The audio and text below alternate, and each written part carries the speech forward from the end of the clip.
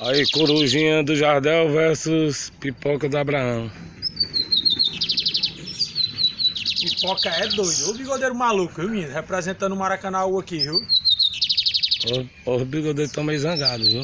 Aí, Não é não, viu? qualidade, coisa boa. Esse é o presente que eu, que eu dei pro meu amigo Aqui é Jardel. o bigodeiro Rinodê, entendeu? O primeiro sol do primeiro dia do ano, viu? Tá louco o bigode, viu? É um em cima da outra, mano. As duas máquinas. Esse bigodeiro tão zangado. Show de bola, viu, menino? Viu? Não é negócio de H show não. Não é negócio de conversa Tá zangado, viu, menino? Tá zangado, viu?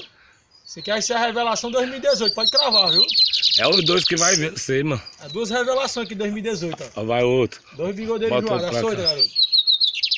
É, É menino. assim, ó. Não é negócio de é H não. equipe, viu? Tem que haver um respeito, viu? Que é da mesma equipe, dos estourados, viu? É isso aí, só pra é finalizar, negócio não, H, não. Mais um pra finalizar, pô.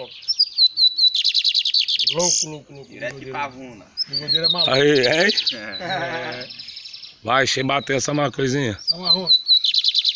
Louco, louco esse bigodeiro, viu? Aprovado dois, pelo viu? Inmetro, como a turma diz, viu? Vai o corujinha, o corujinha. Eita, papai do céu, tão zangado, É bigodeiro. dois bigodeiros zangados, viu? É nóis.